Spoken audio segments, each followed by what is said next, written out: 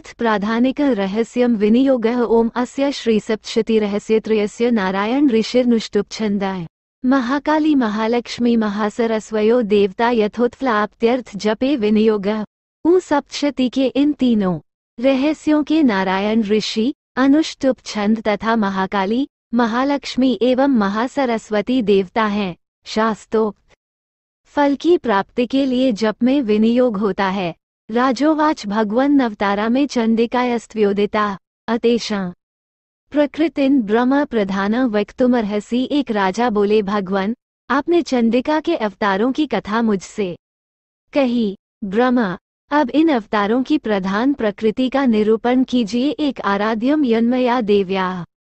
स्वरूप यन च द्विज, विधना ब्रूही सकल, यथावत प्रणत्स्य में दो द्विज श्रेष्ठ मैं आपके चरणों में पड़ा। हूँ, मुझे देवी के जिस स्वरूप की और जिस विधि से आराधना करनी है, वो सब यथार्थ रूप से बतलाइए।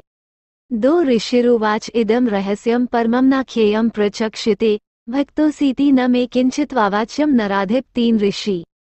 कहते हैं, राजन, ये रहस्य परम गोपनीय है, इसे किसी से कहने योग्य नहीं बतलाया गया है, किंतु तुम मेरे भक्त हो, इसलिए तुमसे न कहने योग्य मेरे पास कुछ भी नहीं है, तीन सर्वस्याद्या।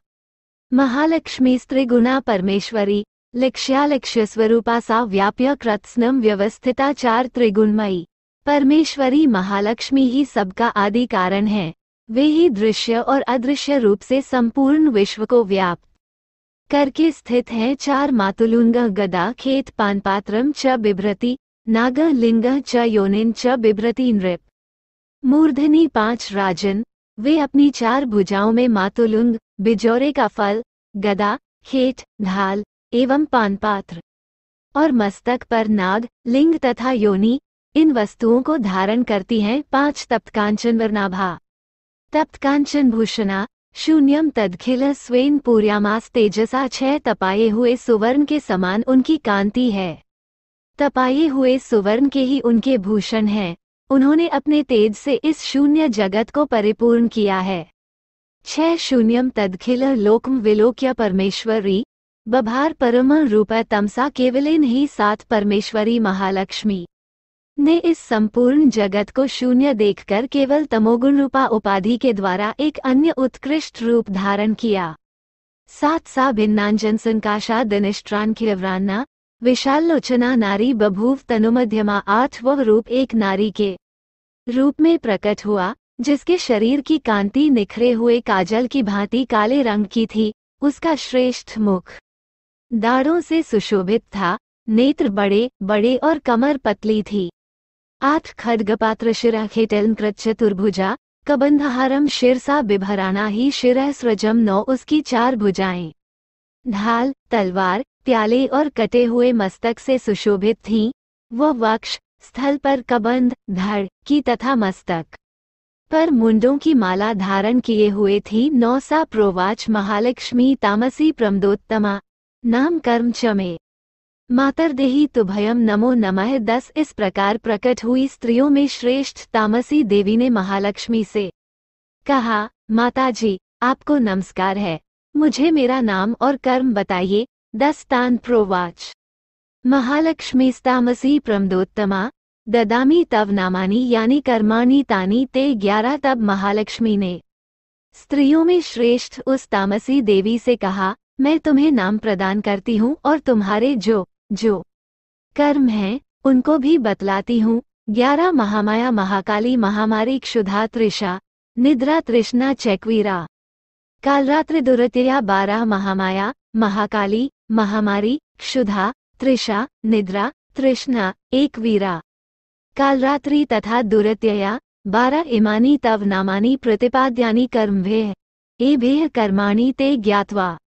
योधिते सोष्णुते सुखम तेरा ये तुम्हारे नाम हैं, जो कर्मों के द्वारा लोक में चरितार्थ होंगे, इन। नामों के द्वारा तुम्हारे कर्मों को जानकर जो उनका पाठ करता है, वो सुख भोगता है। तेरा तामियुक्तवा महालक्ष्मी स्वरूपम पर नृप सत्वाख्य नातिशुद्धेन गुणेनेन्दु प्रभन। दधो चौदह राजन। महाकाली से यूँ कहकर महालक्ष्मी ने अत्यंत शुद्ध सत्व गुण के द्वारा रूप धारण किया। जो चंद्रमा के समान गौरवर्ण था चौदह अक्षमालांगो कुशधरा वीणा पुस्तकधारिणी, सा बभूव वरा नारी। नामान्यस्यी च सा ददौ पंद्रह वो श्रेष्ठ नारी अपने हाथों में अक्षमाला अंकुश वीनाथा पुस्तक धारण किए। हुए थी। महालक्ष्मी ने उसे भी नाम प्रदान किए। पंद्रह महाविद्या महावाणी भारती वाक सरस्वती, आर्या। ब्राह्मी कामधेनुर्वेद गर्भा च सोलह महाविद्या महावाणी भारती वाक सरस्वती, आर्या। ब्राह्मी कामधेनु, वेदगर्भा और धीश्वरी, बुद्धि की स्वामिनी, ये तुम्हारे नाम होंगे सोलह अथोवाच। महालक्ष्मी महाकाली सरस्वतीम युवा जनता देव्यो मिथुने स्वानुरूपतः सत्रह तदनंतर महालक्ष्मी ने महाकाली और महासरस्वती से कहा देवियो तुम दोनों अपने अपने गुणों के योग्य स्त्री पुरुष के जोड़े उत्पन्न करो सत्रह इत्युक्त्वा ते महालक्ष्मी ससर्ज मिथुन स्वयं हिरण्यगर्भो रुचिरो स्त्रिपुंसो कमलासनो अठारह, उन दोनों से यूँ कहकर महालक्ष्मी ने पहले स्वयं ही स्त्री, पुरुष का एक जोड़ा उत्पन्न किया। वे दोनों हिरण्य गर्भ निर्मल ज्ञान से संपन्न, सुंदर तथा कमल के आसन पर विराजमान थे। उनमें से एक स्त्री थी और दूसरा पुरुष अठारह ब्रह्म विधे विरिंचेती धातरित्याह तम नर्म श्री पद में कमले लक्ष्मी त्याह माता च तान स्त्रियम उन्नीस तत्पश्चात माता महालक्ष्मी ने पुरुष को ब्रह्मन विधे, विरिच तथा धात इस प्रकार संबोधित किया और स्त्री को श्री, पद्मा, कमला, लक्ष्मी, इत्यादि नामों से पुकारा। उन्नीस महाकाली भारती च मिथुने सृजतः सह ऐत्योरपी रूपानी नामानी च वदामी। ते बीस इसके बाद महाकाली और महासरस्वती ने भी एक एक जोड़ा उत्पन्न किया। इनके भी रूप और नाम में तुम्हें बतलाता हूँ। बीस नीलकंठम रक्तबाहु श्वेतांग चंद्रशेखर, जन्यामास पुरुष, महाकाली सीता। स्त्रियम इक्कीस, महाकाली ने कंठ में नील चिन्ह से युक्त, लाल भुजा, श्वेत शरीर और मस्तक पर चंद्रमा धारण करने वाले पुरुष को तथा गोरे रंग की स्त्री को जन्म दिया। इक्कीस स रुद्र, शंकर स्थानु कपदी च त्रिलोचन त्रयी विद्या कामधेनु सा स्त्री भाषाक्षरा स्वरा बाईस व पुरुष रुद्र, शंकर, स्थानु। कपदी और त्रिलोचन के नाम से प्रसिद्ध हुआ तथा स्त्री के त्रयी, विद्या, कामधेनु, भाषा, अक्षरा और स्वरा, ये नाम हुए बाईस सरस्वती स्त्रियम गौरी कृष्ण च पुरुष नृप, जन्यामास नामानी तयोरपी वदामी।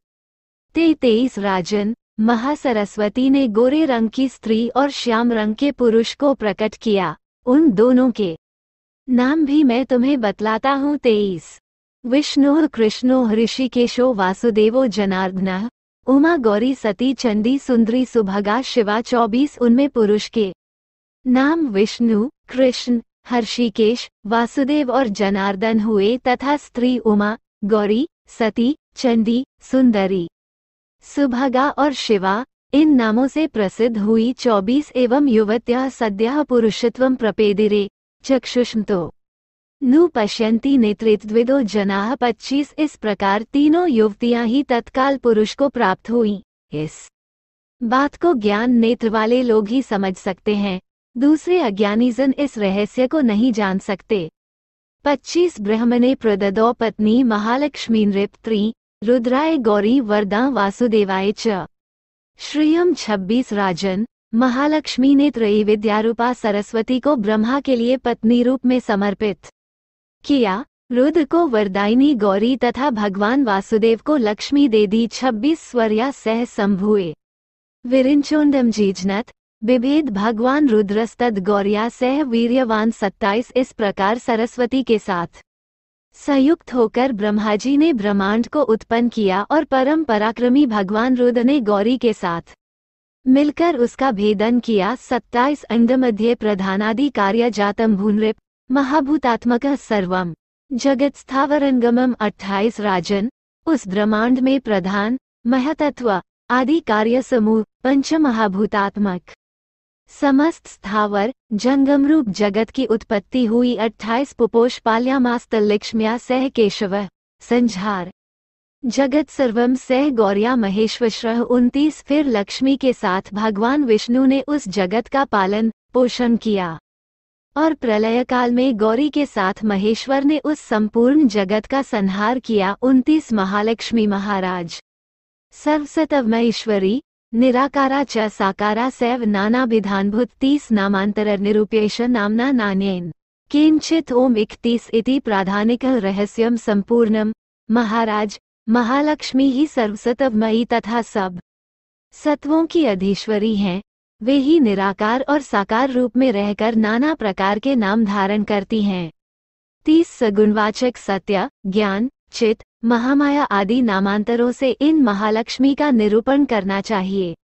केवल एक नाम, महालक्ष्मी मात्र, से अथवा अन्य प्रत्यक्ष आदि प्रमाण से उनका वर्णन नहीं हो सकता। इकतीस।